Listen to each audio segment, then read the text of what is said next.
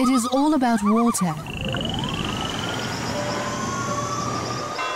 It is all about us.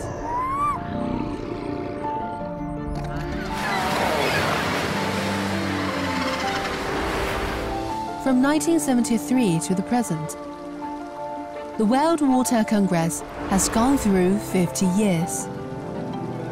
For 50 years, we have been meeting all over the world. And we have been unswervingly finding a way to live with water and nature. Time passes by like this, flowing away day and night. This is the emotion expressed by the ancient Chinese thinker Confucius 2,500 years ago in the face of the galloping river.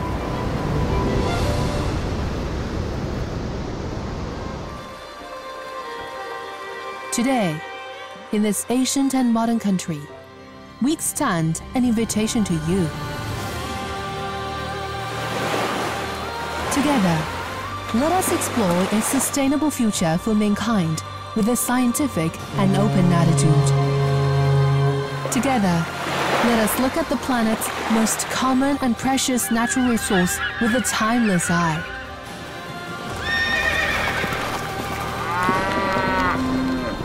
Water for all. Harmony between humans and nature.